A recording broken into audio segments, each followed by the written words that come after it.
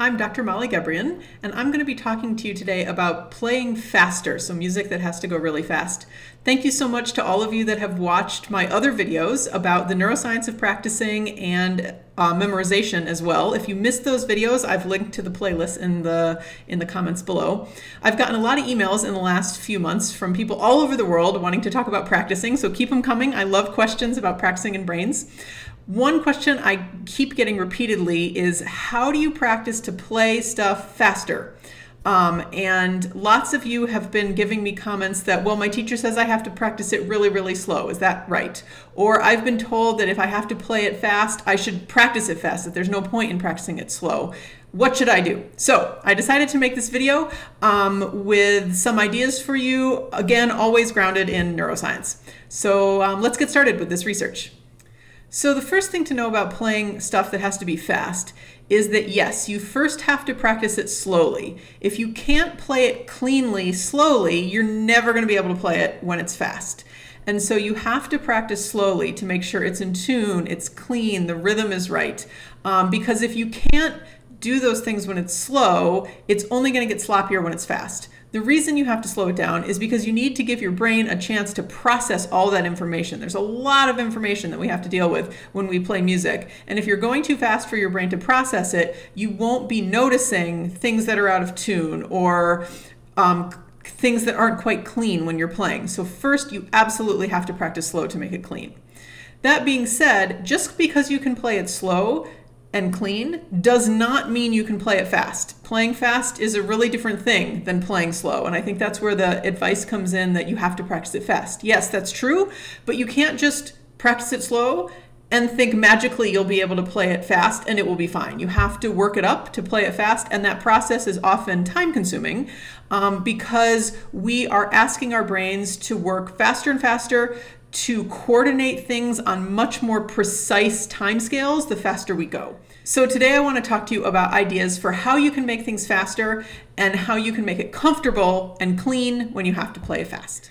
So I'm going to start with some really common advice just to make sure you have this advice. And then um, as we go through the video, we'll get into some more what I think of as like advanced ways of practicing to play fast. So the first thing that you want to do when you're playing fast is to practice in different rhythms. This is really, really common advice for practicing playing fast.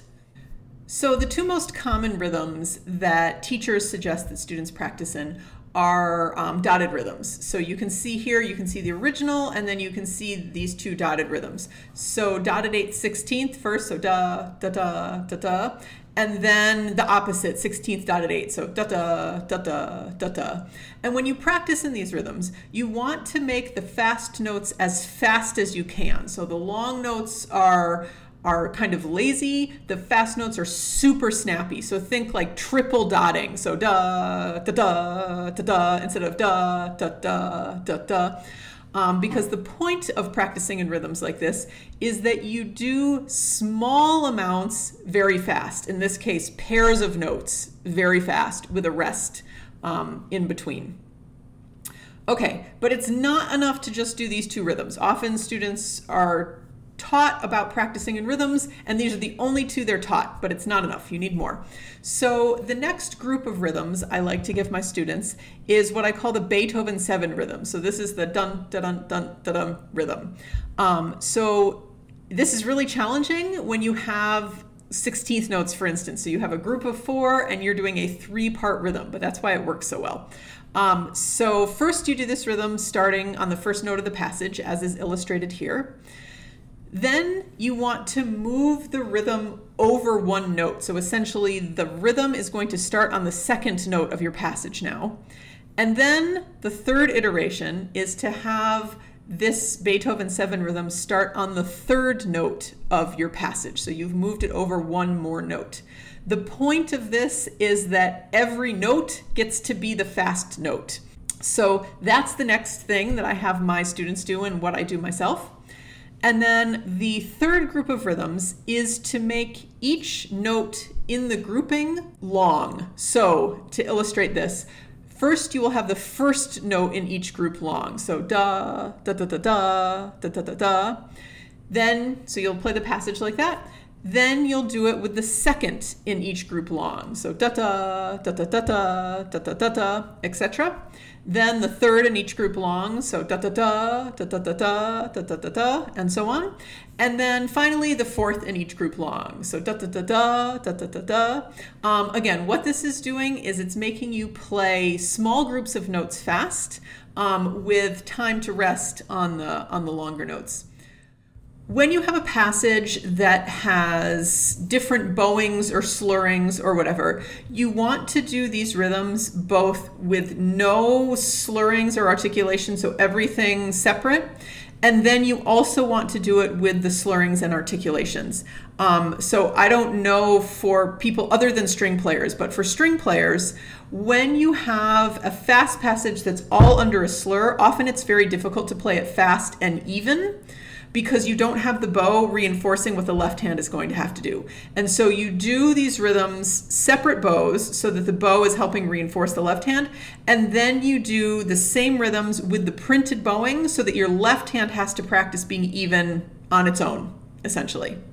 Another great thing to do, in addition to rhythms, is to practice things in different slurring patterns. So for us as string players, this is different bowings. So first you want to start with two slurred. So again, here I've printed the original and then I've um, printed two slurred.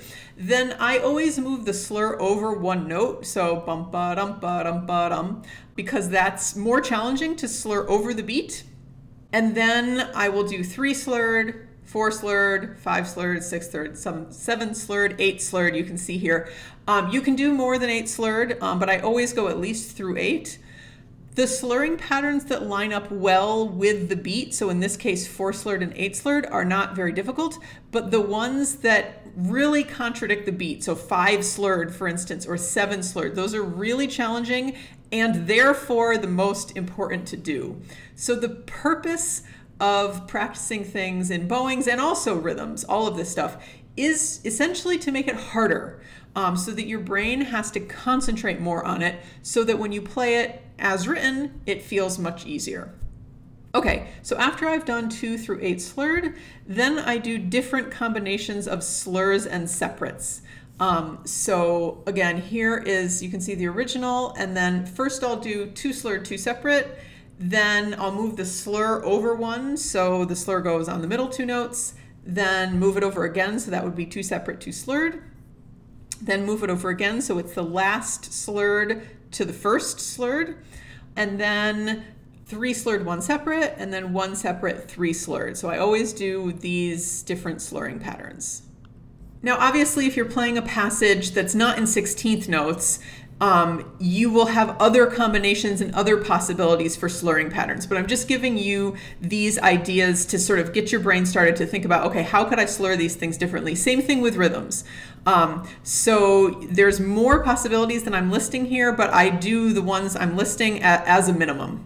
Okay, and then the last bit of sort of conventional advice about making thing fa things faster is to click up the passage with the metronome. So what that means is to start at a slow tempo, and I tell my students to start at a tempo that's so slow you can't possibly make a mistake.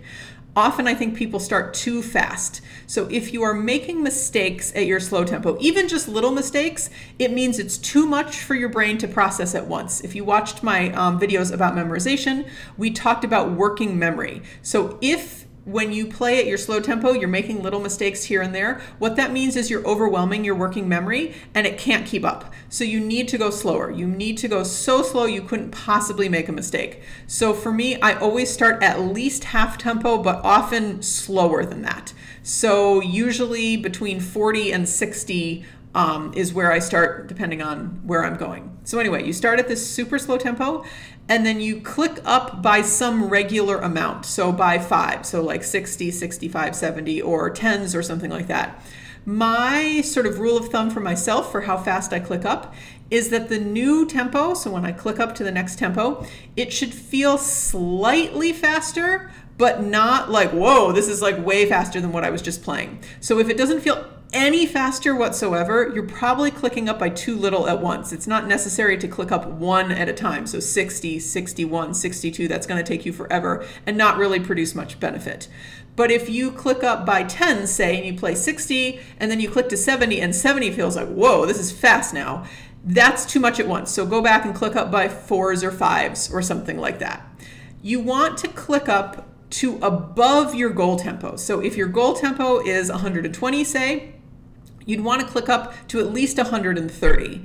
The point of this is that if the fastest you can play is your performance tempo, it's always going to feel really scary when you get on stage. So you want to click up to faster than you're going to have to do so that your performance tempo feels easy and comfortable for you. So when I'm clicking things up, often on the first day or the second or third day, I can't get all the way to my goal tempo, and that's fine and that's completely normal. So I will keep track of how fast I got. So maybe today I could get up to 95. And so I'll write that down and then when I practice it again tomorrow, I'm going to try to get faster than 95 by at least a little bit. Again, always start at your start tempo, that super slow tempo. Um, and then on the second day, try to beat your beat your old tempo by just a little bit, even if only 96. So you're trying to push the envelope a little bit each day. Okay, so this is pretty standard advice so far. Rhythms, bowings, articulations if you're not a string player, and clicking up with the metronome.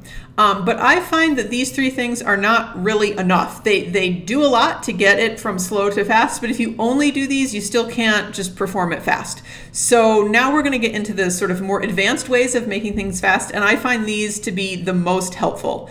Um, but again, I start with the ones that I've already discussed, and then I move on to these more advanced things.